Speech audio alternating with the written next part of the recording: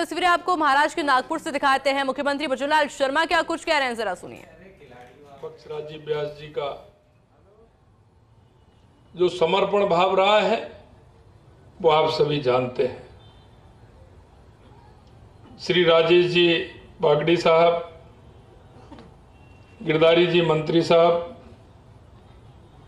निशान जी गांधी साहब, महेश गोल गोयल जी विक्रम जी शर्मा साहब दया शंकर जी तिवाड़ी, पूर्व महापौर।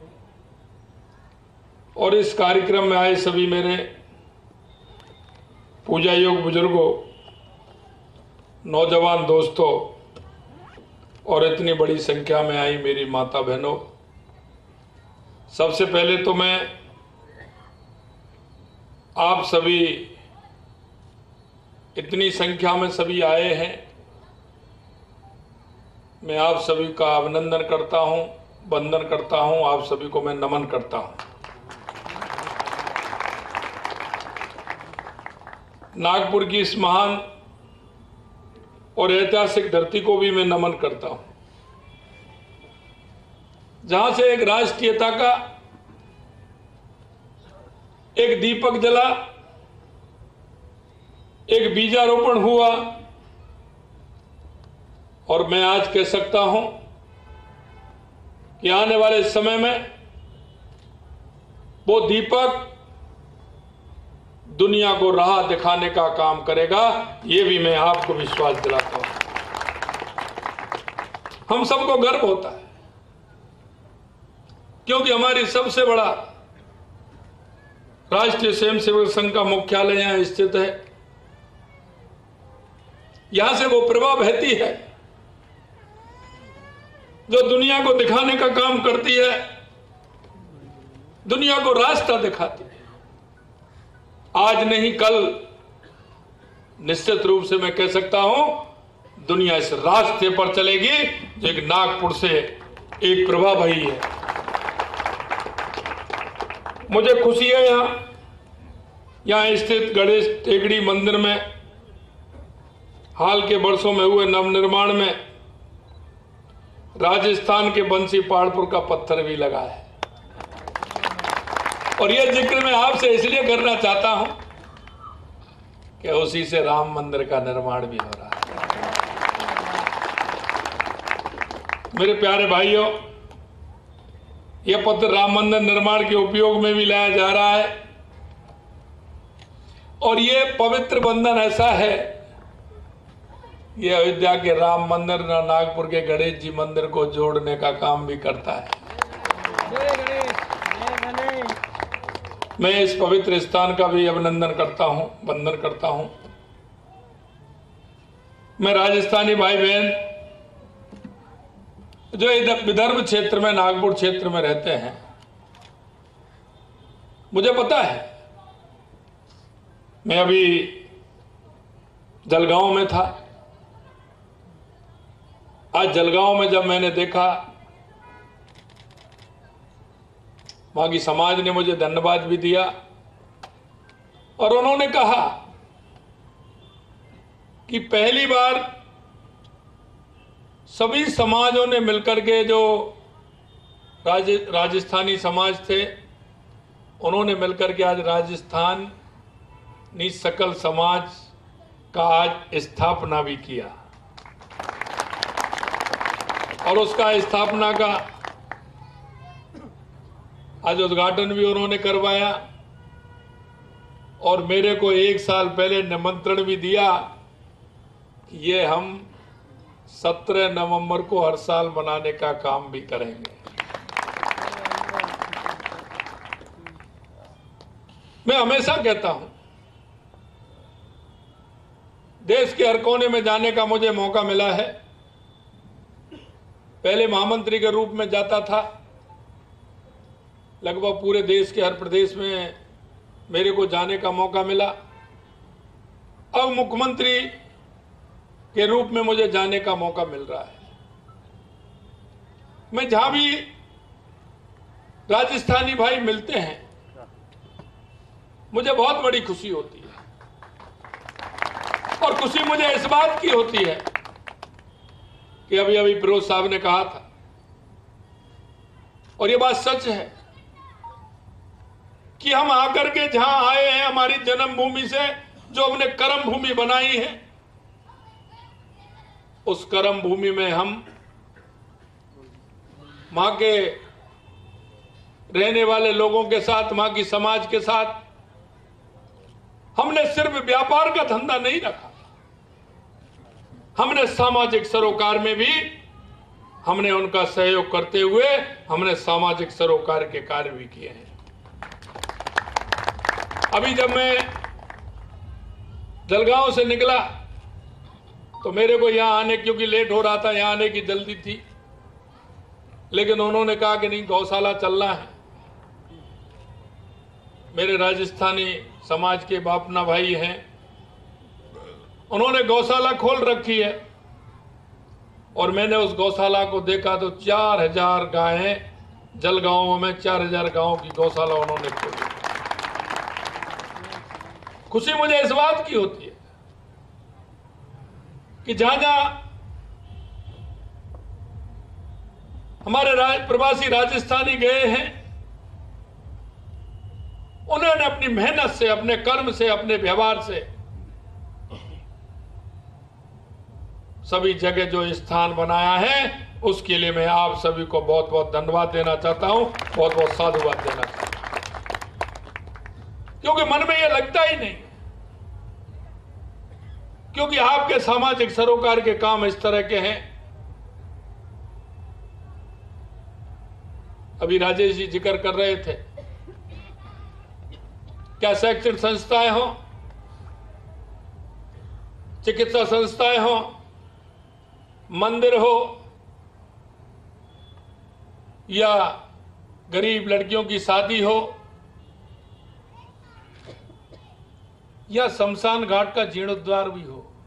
क्योंकि जब मैं तेलंगाना के अंदर गया तो मेरे को उन्होंने बताया कि जितनी शमशान है, किसी न किसी राजस्थानी भाई ने उनको गोद ले रखा है और उनका भी जीर्णोद्धार करने का काम कर रहे हैं। इसलिए मैं कहना चाहता हूँ कि कभी कभी मेरे से पूछते हैं कि राजस्थानी भाई हर जगह है। मेरे को उड़ीसा गया मैं। उड़ीसा के दूर दराज में लगाया। तो वहाँ भी जब मैं, मेरी सभा थी और मैं हेलीकॉप्टर से उतर करके उस सभा में जा रहा था तो मेरे राजस्थानी प्रवासी भाई वहाँ बहुत बड़ी संख्या में मिल गए।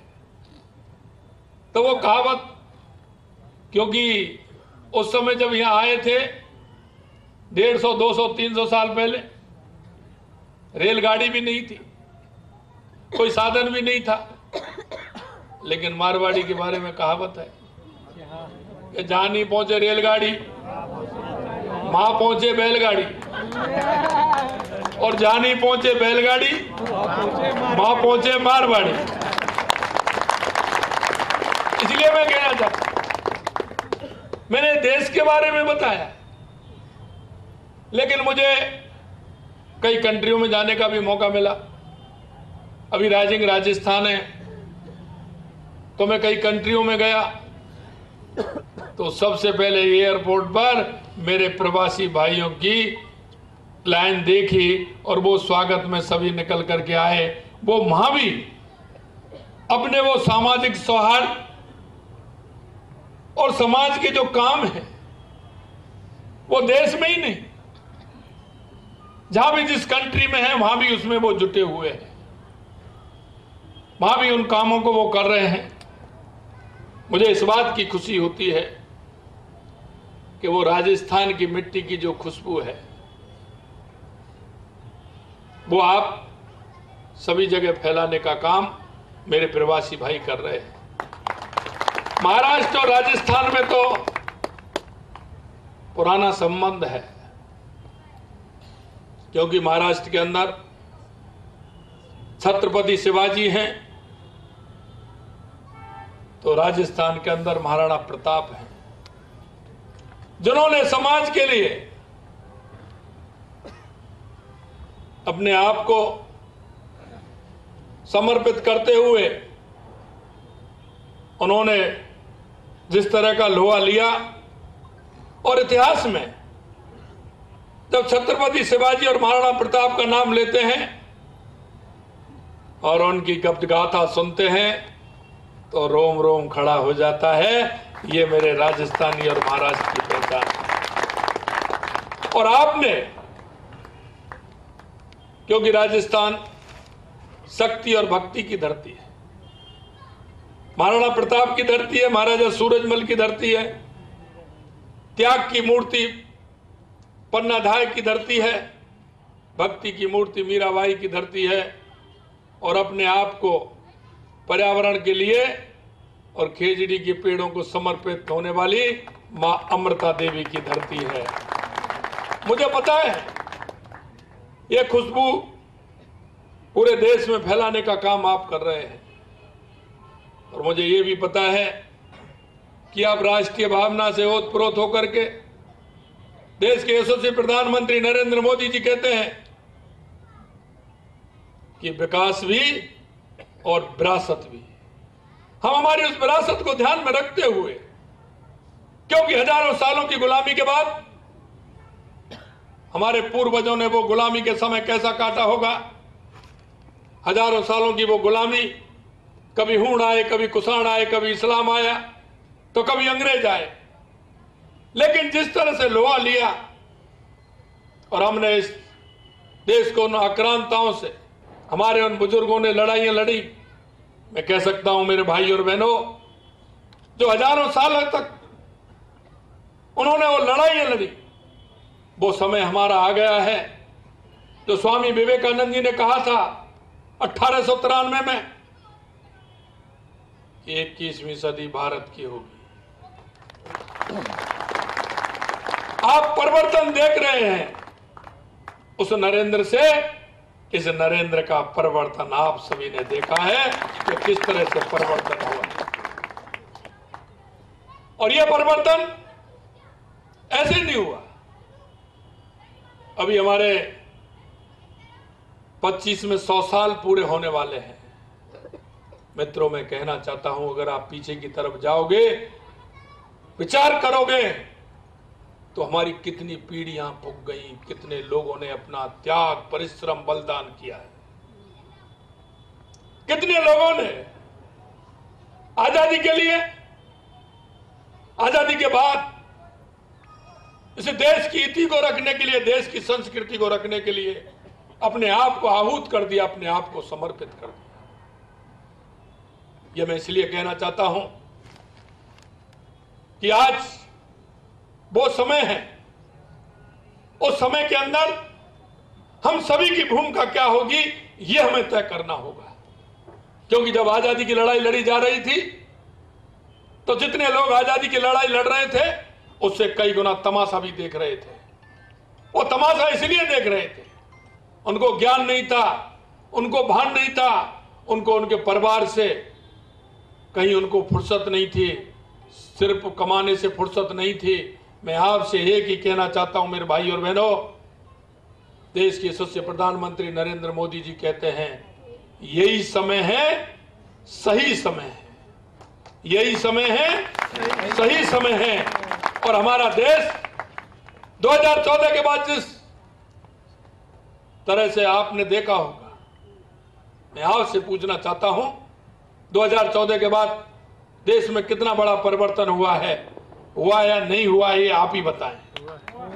2014 के बाद कितना देश के अंदर परिवर्तन हुआ है, इसलिए मैं कहना चाहता हूँ, मेरे भाइयों बहनों 2014 के बाद चाहे गरीब कल्याण की योजनाएँ हो, या देश का विकास हो, या आतंकवाद, नक्सलवाद का खात्मा हो, या दुनिया में बढ़ता हुआ भारत का गौरव हो, ये आप सबने हमने देखा है।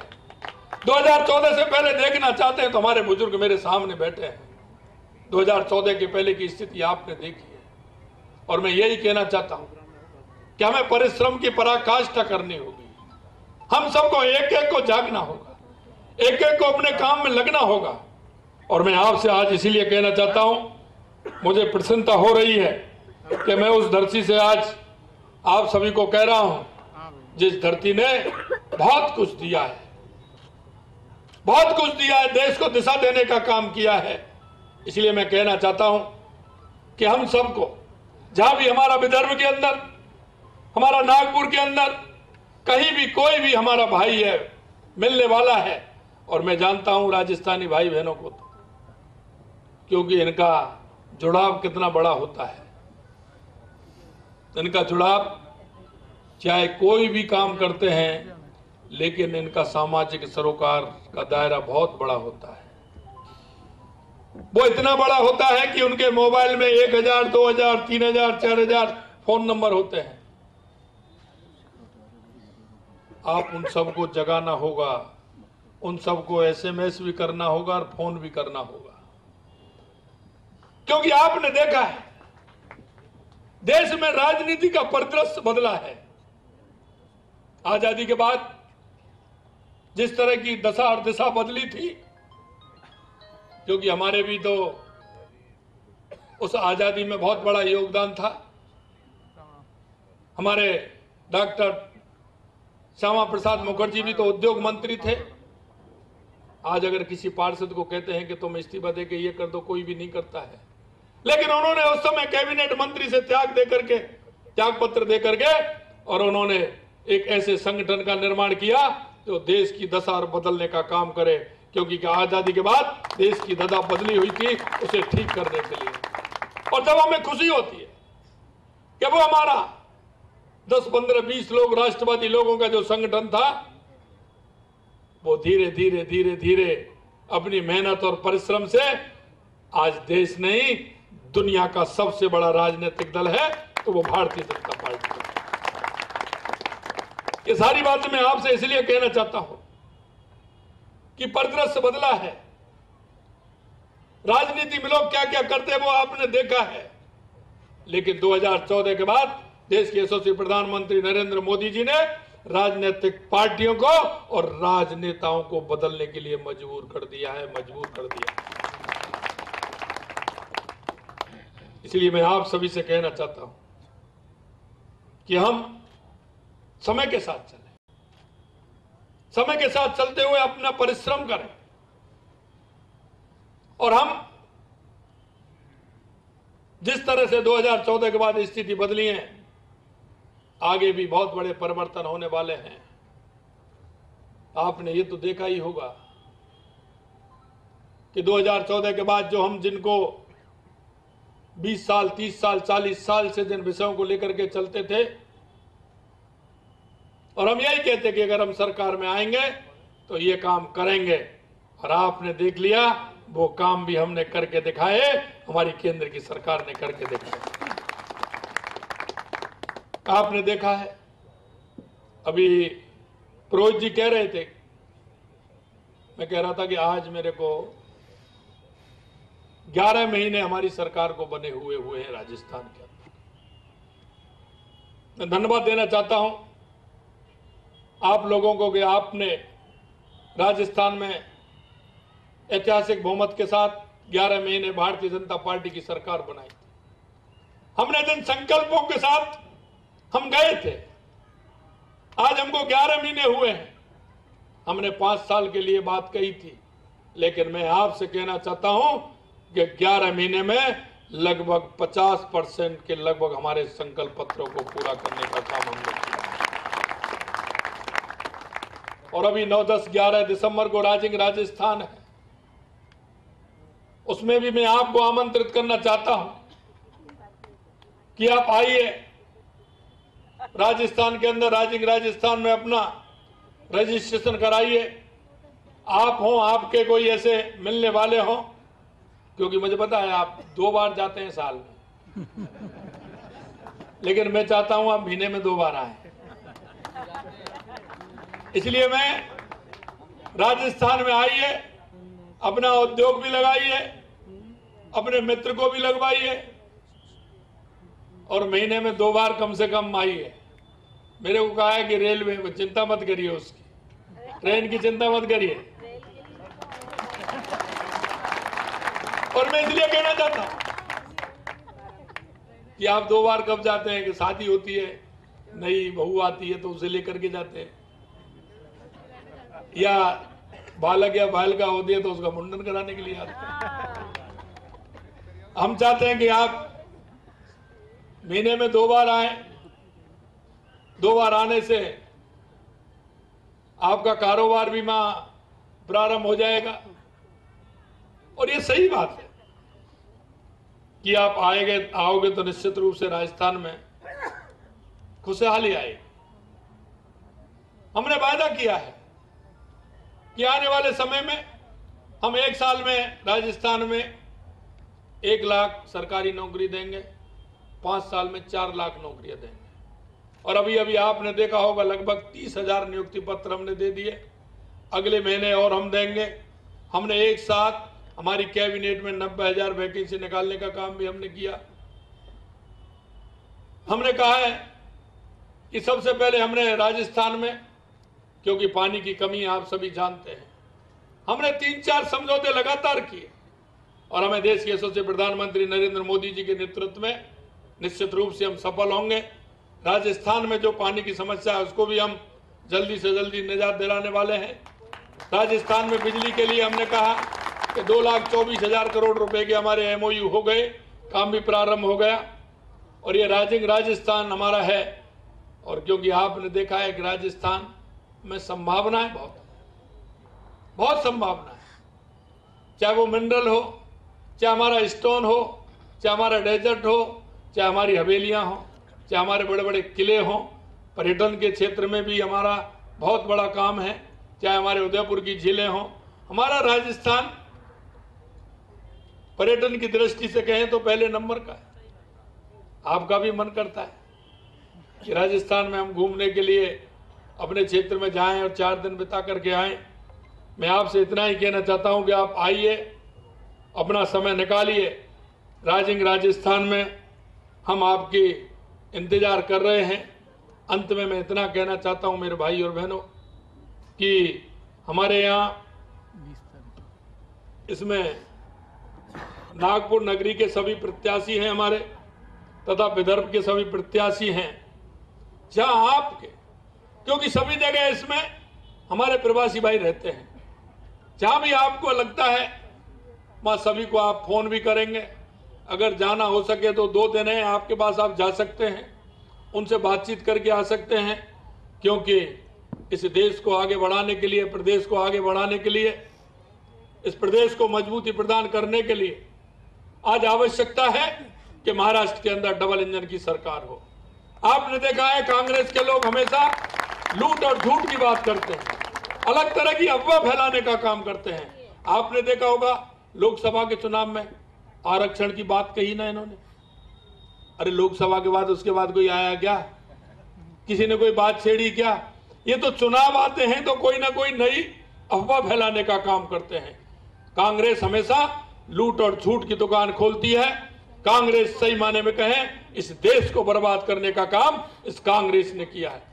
कांग्रेस भ्रष्टाचार की जननी उसने भ्रष्टाचार जिस तरह से किया है, इसलिए मैं कहना चाहता हूँ, देश के यशस्वी प्रधानमंत्री नरेंद्र मोदी जी के नेतृत्व में हमारा देश आगे बढ़ रहा है, हमारे प्रदेश आगे बढ़ रहे हैं, इसलिए डबल इंजन की सरकार होना आवश्यक है। आप सभी से मैं राजस्थान से चल करके, मैं आप सभी भाई बहनों के पास, मैं इसलिए आया हूँ कि आप सभी लोग इस भूमिका में, क्योंकि आप हमेशा राष्ट्रीयता की भावना अपनी संस्कृति, अपने विचार को लेकर के चलने वाले हैं। मैं यही कहना चाहता हूँ कि आप महाराष्ट्र की मजबूती के लिए, जन्मभूमि की मजबूती के लिए कर्म भूमि की मजबूती के लिए आप भारतीय जनता पार्टी के और महायुति के जो हमारे प्रत्याशी हैं, उनको ज़्यादा से ज़्यादा वोट देकर उनको जिताएँ। ये मेरा आप सभी से निवेदन है।